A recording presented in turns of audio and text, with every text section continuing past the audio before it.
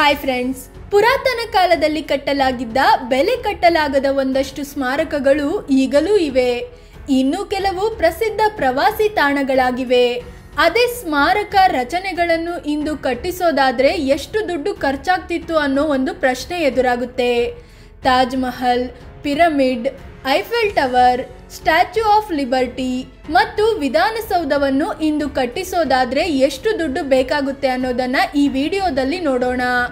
ಅದಕ್ಕೂ ಮುನ್ನ ನೀವಿನ್ನು ನಮ್ಮ ಚಾನಲ್ಗೆ ಹೊಸಬರಾಗಿದ್ದರೆ ಈ ಕೂಡಲೇ ಸಬ್ಸ್ಕ್ರೈಬ್ ಆಗಿ ಪಕ್ಕದ ಗಂಟೆ ಗುರುತಿನ ಮೇಲೆ ಕ್ಲಿಕ್ ಮಾಡಿ. ಸ್ಟ್ಯಾಚ್ಯೂ ಆಫ್ ಲಿಬರ್ಟಿ ಇದು ಅಮೆರಿಕಾದ ನ್ಯೂಯಾರ್ಕ್ನಲ್ಲಿದೆ ಇದನ್ನು ಫ್ರಾನ್ಸ್ ನಿರ್ಮಾಣ ಮಾಡಿ ಅಮೆರಿಕಾಗೆ ಫ್ರೆಂಡ್ಶಿಪ್ಗೆ ಗಿಫ್ಟ್ ಕೊಟ್ಟಿತ್ತು. ಇದರಲ್ಲಿ ಮೂವತ್ತೊಂದು ಟನ್ ತಾಮ್ರ ನೂರ ಇಪ್ಪತ್ತೈದು ಟನ್ ಸ್ಟೀಲ್ ಮತ್ತು ಕಾಂಕ್ರೀಟ್ ಬಳಸಲಾಗಿದೆ. ಮುನ್ನೂರ ಐದು ಅಡಿ ಎತ್ತರ ಇರುವ ಈ ಪ್ರತಿಮೆಯನ್ನು ನೂರ ನಲವತ್ತಾರು ವರ್ಷಗಳ ಹಿಂದೆ ನಿರ್ಮಿಸುವಾಗ ನಾಲ್ಕು ಲಕ್ಷ ಡಾಲರ್ ಖರ್ಚಾಗಿತ್ತು. ಇದು ಆಗಿನ ಕಾಲದಲ್ಲಿ ದೊಡ್ಡ ಅಮೌಂಟೇ ಆಗಿತ್ತು. ಹೀಗಾಗಿ ಫ್ರಾನ್ಸ್ ಚಂದ ಒಟ್ಟು ಮಾಡಲು ಒಂದು ಕಮಿಟಿ ರಚಿಸಿತ್ತು. ಇದನ್ನು American Committee of the Statue of Liberty ಅಂತ ಕರೆಯಲಾಯಿತು. ಅರವತ್ತು ನೌಕರರು ಇಪ್ಪತ್ತು ವರ್ಷಗಳ ಶ್ರಮ ಹಾಕಿ ಇದನ್ನ ನಿರ್ಮಿಸಿದ್ರು. ಈಗ ಇದನ್ನು ಸುಲಭವಾಗಿ ನಿರ್ಮಿಸಬಹುದು. ಬೇಗನೂ ನಿರ್ಮಿಸಬಹುದು. ಆದರೆ ದುಡ್ಡು ಕೂಡ ಖರ್ಚಾಗುತ್ತೆ. ಹಾಗಾದ್ರೆ ಈಗ ಸ್ಟ್ಯಾಚ್ಯೂ ಆಫ್ ಲಿಬರ್ಟಿಯನ್ನು ನಿರ್ಮಿಸಬೇಕಾದ್ರೆ ಒಂದು ಕೋಟಿ ಮೂವತ್ತು ಲಕ್ಷ ರೂಪಾಯಿ ಮೊತ್ತದ ತಾಮ್ರ, ಇಪ್ಪತ್ತೆಂಟು ಲಕ್ಷ ಮೌಲ್ಯದ ಸ್ಟೀಲ್, ಕಾಂಕ್ರೀಟ್, ಅದು ಇದು ಅಂತ ನಾಲ್ಕೂವರೆ ಕೋಟಿ ರೂಪಾಯಿ ಖರ್ಚಾಗುತ್ತೆ. ಉಳಿದಂತೆ ಐದು ಕೋಟಿ ರೂಪಾಯಿ ಮೌಲ್ಯದ ಮೆಟೀರಿಯಲ್ ಬೇಕಾಗುತ್ತೆ. ಜೊತೆಗೆ ಕಾರ್ಮಿಕರ ಖರ್ಚು ಎಲ್ಲ ಸೇರಿ ಈ ಪ್ರತಿಮೆ ಈಗ ನಿರ್ಮಿಸಬೇಕಾದ್ರೆ ಒಂಬತ್ತರಿಂದ ಹತ್ತು ಕೋಟಿ ರೂಪಾಯಿ ಖರ್ಚಾಗುತ್ತೆ. ಅದೇ ಪ್ರತಿಮೆಯನ್ನು ನಾವು ಖರೀದಿಸಬೇಕು ಅಂತ ಹೋದ್ರೆ ನಲವತ್ತೈದು ಕೋಟಿ ರೂಪಾಯಿ ಬೇಕಾಗುತ್ತೆ. ಲೀನಿಂಗ್ ಟವರ್ ಆಫ್ ಪಿಜ್ಜಾ ವಾರೆಯಾಗಿ ನಿರ್ಮಾಣವಾಗಿರೋ ಈ ಕಟ್ಟಡ ಇರೋದು ಇಟಲಿಯಲ್ಲಿ. ಈ ಕಟ್ಟಡ ನಿರ್ಮಾಣಕ್ಕೆ ಬರೋಬ್ಬರಿ ಇನ್ನೂರು ವರ್ಷಗಳೇ ಬೇಕಾಗಿದ್ವು. ಇದನ್ನು ಬಿಳಿ ಬಣ್ಣದ ಅಮೃತ ಶಿಲೆಯಿಂದ ನಿರ್ಮಿಸಲಾಗಿತ್ತು. ಎಂಟು ಮಹಡಿಯ ಈ ಕಟ್ಟಡ ನಿರ್ಮಿಸೋ ಮುನ್ನ ಇದರ ಅಡಿಪಾಯವನ್ನು ತಜ್ಞರು ಚೆನ್ನಾಗಿ ಪರಿಶೀಲಿಸಿರಲಿಲ್ಲ. ಹೀಗಾಗಿ ಇದರ ಬೇಸ್ ಕಟ್ಟಡದ ತೂಕ ತಡೆಯಲಾಗದೆ ವಾರೆಯಾಯಿತು ಇದನ್ನು ಪಳಪಳ ಹೊಳೆಯೋ ಅಮೃತ ಶಿಲೆಯಿಂದ ನಿರ್ಮಿಸಲಾಗಿರೋದ್ರಿಂದ ಈಗ ನಿರ್ಮಿಸೋದು ತುಂಬಾ ದುಬಾರಿಯಾಗುತ್ತೆ. ಈ ಮಾರ್ಬಲ್ಸ್ಗೆ ಅಂತಲೇ ನಲವತ್ತೆಂಟು ಕೋಟಿ ರೂಪಾಯಿ ಖರ್ಚಾಗುತ್ತೆ.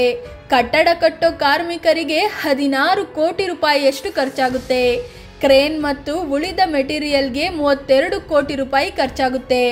ಅಂದ್ರೆ ಈ ವಾರೆ ಪೀರೆ ಕಟ್ಟಡವನ್ನು ಈಗ ಕಟ್ಟಬೇಕಾದ್ರೆ ತೊಂಬತ್ತಾರರಿಂದ ನೂರು ಕೋಟಿ ರೂಪಾಯಿ ಖರ್ಚಾಗುತ್ತೆ. The great pyramid of Giza.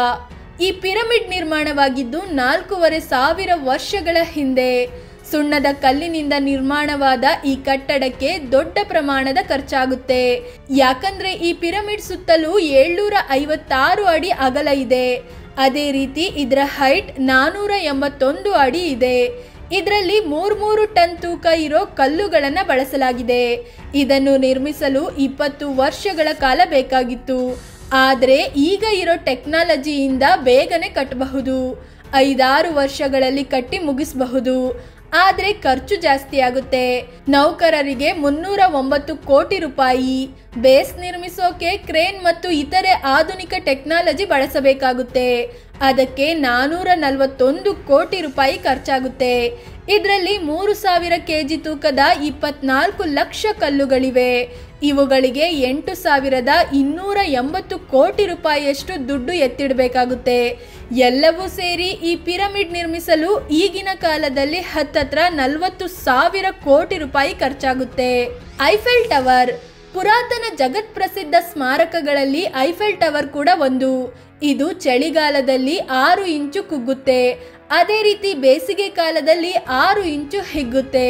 ಈ ಟವರ್ ಒಂಬೈನೂರ ಎಂಬತ್ತೈದು ಅಡಿ ಎತ್ತರ ಇದ್ದು ಇಪ್ಪತ್ತೈದು ಲಕ್ಷ ರಿವಿಟ್. ಏಳು ಸಾವಿರದ ಮುನ್ನೂರು ಟನ್ ಕಬ್ಬಿಣ ಬಳಸಲಾಗಿತ್ತು. ಇವುಗಳನ್ನು ಇಂದಿನ ಬೆಲೆಗೆ ಹೋಲಿಕೆ ಮಾಡಿ ನೋಡಿದರೆ ಒಂಬತ್ತು ಕೋಟಿ ರೂಪಾಯಿಯಷ್ಟಾಗುತ್ತೆ. ಕ್ರೇನ್ ಫಿಟ್ಟಿಂಗ್ಗೆ ಐದು ಕೋಟಿ ರೂಪಾಯಿಯಷ್ಟು ಖರ್ಚಾಗುತ್ತೆ. ಎಲ್ಲಕ್ಕಿಂತ ಹೆಚ್ಚಾಗಿ ಜಸ್ಟ್ ಕಾರ್ಮಿಕರಿಗೆ ಅಂತಲೇ ಇನ್ನೂರ ಇಪ್ಪತ್ತೆಂಟು ಕೋಟಿ ರೂಪಾಯಿಯಷ್ಟು ಖರ್ಚಾಗುತ್ತೆ. ಈ ರೀತಿ ಐಫೆಲ್ ಟವರ್ ನಿರ್ಮಿಸಲು ಈಗ ನೂರಾರು ಕೋಟಿ ರೂಪಾಯಿ ಖರ್ಚಾಗುತ್ತೆ. ಅಂದ ಹಾಗೆ ಇಂದು ಐಫೆಲ್ ಟವರ್ ಸುಮಾರು ಎರಡು ಬಿಲಿಯನ್ ಡಾಲರ್, ಅಂದ್ರೆ ಹದಿನಾರು ಸಾವಿರ ಕೋಟಿ ರೂಪಾಯಿಗೆ ಬೆಲೆ ಬಾಳುತ್ತೆ. ತಾಜ್ ಮಹಲ್, ಜಗತ್ತಿನ ಅದ್ಭುತಗಳಲ್ಲಿ ಒಂದಾದ ತಾಜ್ ಮಹಲ್ ಕಟ್ಟಲು ಇಪ್ಪತ್ತು ವರ್ಷ ಬೇಕಾಗಿತ್ತು. ಇದಕ್ಕಾಗಿ ಇಪ್ಪತ್ತು ಸಾವಿರ ಕಾರ್ಮಿಕರು ಮತ್ತು ಹತ್ತು ಸಾವಿರ ಆನೆಗಳನ್ನು ಬಳಸಲಾಗಿತ್ತು.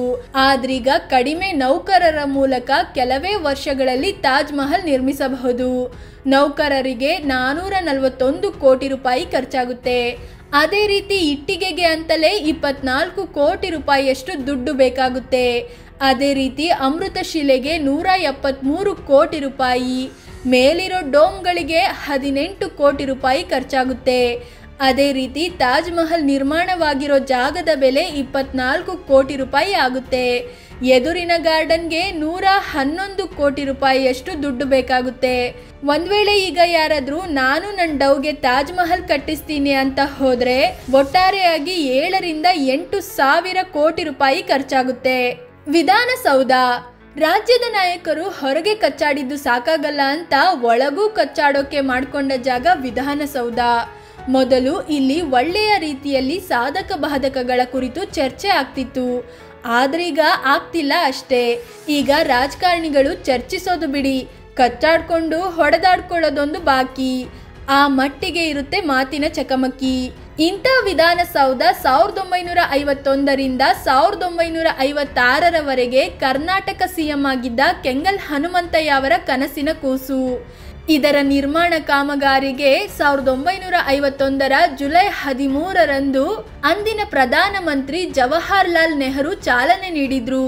ಇದನ್ನು ಸಾವಿರದ ಒಂಬೈನೂರ ಐವತ್ತಾರರಲ್ಲಿ ಒಂದು ಕೋಟಿ ಎಂಬತ್ನಾಲ್ಕು ಲಕ್ಷ ರೂಪಾಯಿ ವೆಚ್ಚದೊಂದಿಗೆ ಪೂರ್ಣಗೊಳಿಸಲಾಯಿತು. ವಿಧಾನಸೌಧದ ಈಗಿನ ಮಾರ್ಕೆಟ್ ವ್ಯಾಲ್ಯೂ ಮೂರು ಸಾವಿರದ ಆರುನೂರು ಕೋಟಿ ರೂಪಾಯಿಯಷ್ಟು ಇರಬಹುದು ಅಂತ ರಿಯಲ್ ಎಸ್ಟೇಟ್ ಸಂಸ್ಥೆ ಒಂದು ಕಳೆದ ವರ್ಷ ಅಂದಾಜಿಸಿತ್ತು. ಫ್ರೆಂಡ್ಸ್ ಇವಿಷ್ಟು ಪುರಾತನ ಮತ್ತು ಕೆಲ ಐತಿಹಾಸಿಕ ರಚನೆಗಳ ಬಗ್ಗೆ. ಅವುಗಳಿಗೆ ಇಂದು ಎಷ್ಟು ಬೆಲೆ ಇದೆ? ಇಂದು ಕಟ್ಟೋದಾದ್ರೆ ಎಷ್ಟು ಖರ್ಚಾಗುತ್ತೆ ಅಂತ ತಿಳಿಸಿಕೊಡುವ ಪ್ರಯತ್ನ. ಈ ಬಗ್ಗೆ ನಿಮಗೇನನ್ಸುತ್ತೆ ಅಂತ ಕಾಮೆಂಟ್ ಮಾಡಿ ಹೇಳಿ. ಅದಕ್ಕೂ ಮುನ್ನ ನೀವಿನ್ನೂ ನಮ್ಮ ಚಾನಲ್ಗೆ ಸಬ್ಸ್ಕ್ರೈಬ್ ಆಗಿಲ್ಲ ಅಂದರೆ ಈ ಕೂಡಲೇ ಆಗಿ ಪಕ್ಕದ ಗಂಟೆ ಗುರುತಿನ ಮೇಲೆ ಕ್ಲಿಕ್ ಮಾಡಿ. ಧನ್ಯವಾದ.